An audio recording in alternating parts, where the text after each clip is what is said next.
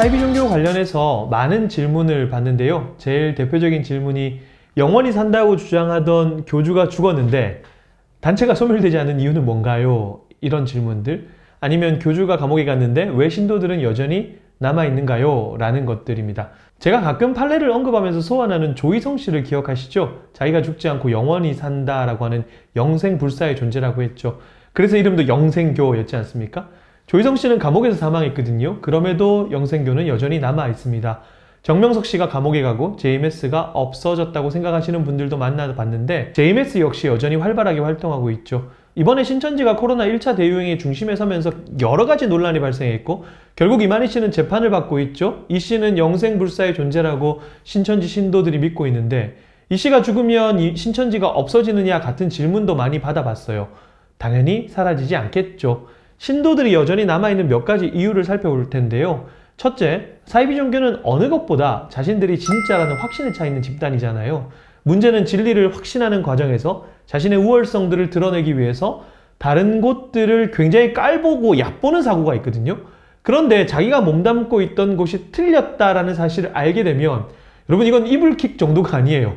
속았다는 분노는 둘째치고 수치심이 들기도 하거든요. 자기가 믿고 확신했던 것이 틀렸다고 인정하게 되면 자신의 존재에 대한 부정으로 이어져야 되지 않습니까?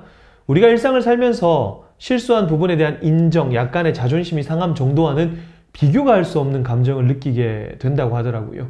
이 상태에서 한 가지 함정에 빠지죠.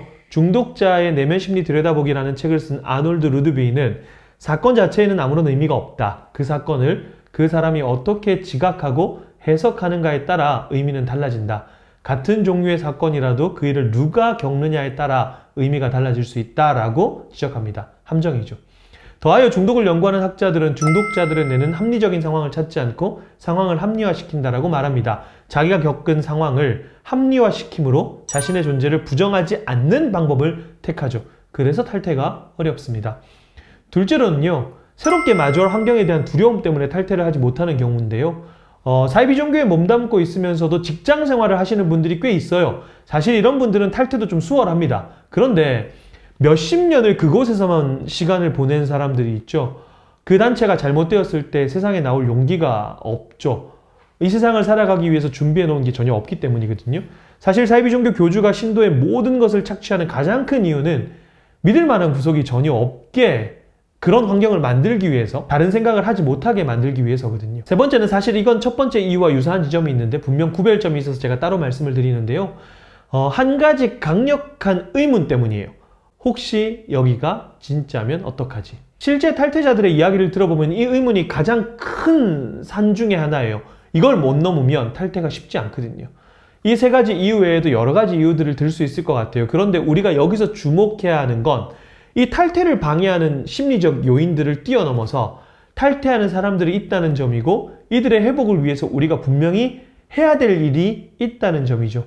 이해가 안 된다고 덮어놓을 문제가 아니라 조금씩 이해해 보려고 노력하는 자세가 우리에게 필요하지 않을까 그렇게 생각됩니다. 바른미디어는 여러분의 응원에 힘입어 지속됩니다. 바른미디어 유튜브 멤버십 가입을 통해서 저희와 함께 하실 수 있습니다. 많은 분들의 참여를 부탁드립니다. 감사합니다.